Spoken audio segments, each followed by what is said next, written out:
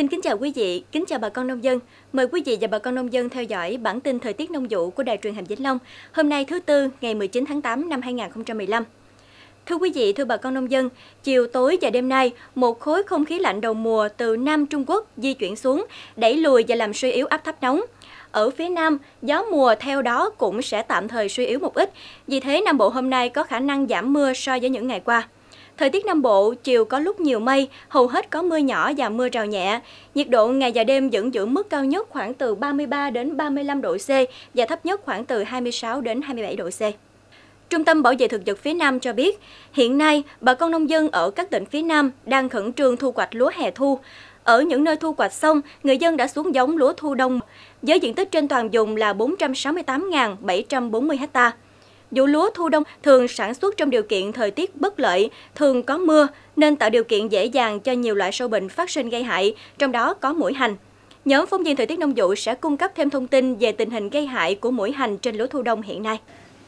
Thưa quý vị, thưa bà con nông dân, mũi hành thì à, thường gây hại trên lúa từ khi lúa còn giai đoạn mạ cho đến giai đoạn à, cuối đẻ nhánh. Và khi cây lúa bị mũi hành gây hại thì sẽ đâm ra nhiều trò như thế này. À, cọng dựng đứng và có nhiều cọng lúa thì à, trông giống như là cọng hành.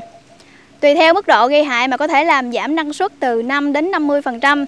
À, cá biệt thì à, có một số ruộng lúa thì à, à, không cho năng suất. Mặc dù bà con nông dân chúng ta đã sử dụng rất nhiều phân thuốc hóa học Đặc biệt là trong điều kiện thời tiết như hiện nay thì càng làm cho bệnh à, phát triển và gây hại nhiều hơn.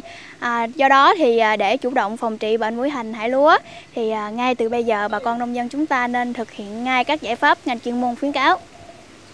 Thưa quý vị, thưa bà con nông dân, theo Trung tâm Bảo vệ Thực vật phía Nam, để hạn chế mũi hành hại lúa, bà con cần phải thực hiện các giải pháp sau đây tăng cường vệ sinh đồng ruộng, dọn sạch cỏ dại, lúa chét trong ruộng, làm đất thật kỹ, mặt ruộng phải bằng phẳng và tạo rãnh thoát nước tốt, cày dùi rơm rạ sau khi thu hoạch lúa hè thu và cách ly thời vụ tối thiểu 2 tuần.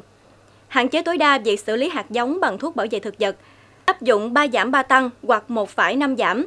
Gieo xạ giống xác nhận và chống chịu với một số dịch hại chính. Gieo xạ với mật độ thưa hợp lý từ 100 đến 120 kg trên 1 hectare bảo vệ thiên địch ngay từ đầu vụ bằng cách không phun thuốc trừ sâu ăn lá ở giai đoạn đầu của cây lúa.